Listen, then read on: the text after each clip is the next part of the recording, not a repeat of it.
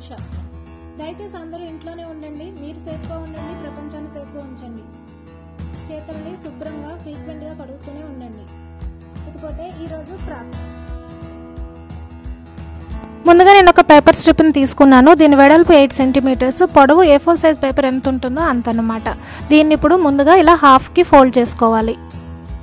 ఇలా హాఫ్కి ఫోల్డ్ చేసిన తర్వాత ఓపెన్ సైడ్న ఇలా ఒక హాఫ్ సెంటీమీటర్ విడ్త్తో ఒక లైన్ గీసుకోవాలి. ఇది హాఫ్ సెంటీమీటర్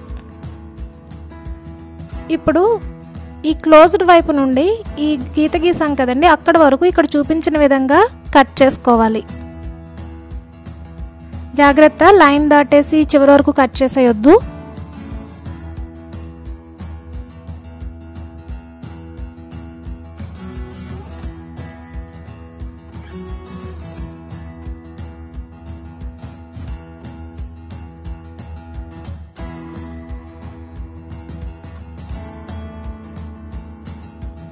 ఈ విధంగా చివరి వరకు కట్ చేసిన తర్వాత పేపర్ని ఇలా ఓపెన్ చేసుకుని ఈ మధ్యలో ఫోల్డ్ ఏదైతే ఉందో అక్కడ మనం గోరుతో ఇక్కడ చూపించిన విధంగా ఇలా ప్రెస్ చేయాలి.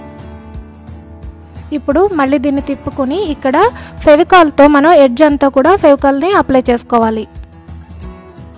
ఇలా ఫెవికాల్ అప్లై చేసిన తర్వాత అవతల ఎడ్జ్ని ఈ ఎడ్జ్ పైన పెట్టి రెండింటిని మనం స్టిక్ చేసుకోవాలి. దీనిని పక్కన పెట్టుకుని స్టెమ్ కోసం గ్రీన్ కలర్ స్ట్రిప్ తీసుకున్నానండి. ఇది కూడా ఏ ఫోర్ సైజ్ అంత లెంగ్త్ విత్ వచ్చేసి సేమ్ ఎయిట్ సెంటీమీటర్స్ ఇప్పుడు ఒక బాబీక్యూ స్టిక్ తీసుకుని ఒక కార్నర్ నుండి దీన్ని ఇలా రోల్ చేసుకుంటూ రావాలి. ఇది బాబీక్యూ స్టిక్ అవసరం లేదు. రీఫిల్ కానీ పెన్సిల్ కానీ పెన్ కానీ దేనైనా యూజ్ చేయొచ్చు. ఇలా చివరి వరకు రోల్ చేసిన తర్వాత ఫెవికాల్ చేసి అప్లై చేసి దీన్ని స్టిక్ చేసుకోవాలి. దీంతో మనకి స్టెమ్ రెడీ అయిపోయింది.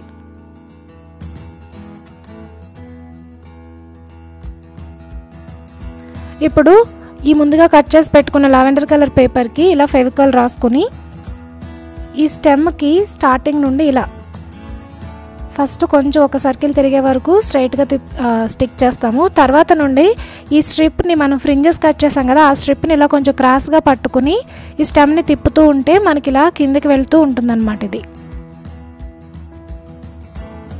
ఇది చాలా ఈజీ అండి తయారు చేయడం. అయితే పిల్లల కోసమని మెయిన్ మనం చేస్తున్నాం కదా క్రాఫ్ట్స్ అని అందుకే ఈజీగా ఉండే క్రాఫ్ట్సే నేను నేర్పిస్తున్నాను. ఈ థర్టీ ఫస్ట్ వరకు కూడా ఇలా ఈజీగానే ఉండేవే ఉంటాయి. ఇవి మీరు పిల్లలతో చేయించి ఒక ఐదారు లేకపోతే ఒక పది వరకు చేయించి ఒక ఫ్లవర్ వాజ్లో పెట్టి వాళ్ళ రూమ్లో పెడితే వాళ్ళకు కూడా చాలా హ్యాపీగా ఉంటుంది. ఇదిగోండి lavender flower with stem ready అయిపోయింది. దీనికి ఇంకా లీవ్స్ పెట్టాలి. నేను ఆల్రెడీ లీవ్స్ దీనికి పెట్టేశాను.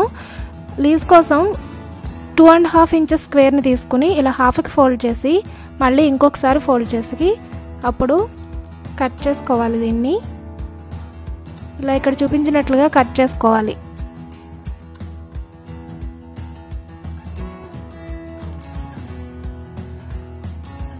ఇలా మనకి టూ పీసెస్ వస్తాయి. నేను వేరే కలర్తో ఫ్లవర్స్ చేశానండి. దానికి దీన్ని అటాచ్ చేసి చూపిస్తాను. ఇదిగో ఇలా పెట్టుకుని ముందు ఒక స్ట్రిప్ తీసుకుని ఇలా పెట్టుకోవాలి. అంటే రెండు లీవ్స్ కూడా ఆపోజిట్ సైడ్స్ వచ్చేటట్టు అనమాట ఫెవికాల్ రాసి ఇలా స్టిక్ చేసుకోవాలి. ఇలా స్టిక్ చేశాక ఇంకొక ఇలా ఉంది కదా ఇది కూడా తీసుకుని ఇంకో పీస్ కూడా. ఈ రెండు లీవ్స్కి ఈ రెండు లీవ్ అదే రెండు లీవ్స్కి ఇటువైపు ఒక లీఫ్ అటుపక్కన ఇంకొక లీఫ్ వచ్చేటట్టుగా పెట్టుకుని స్టిక్ చేసుకోవాలి.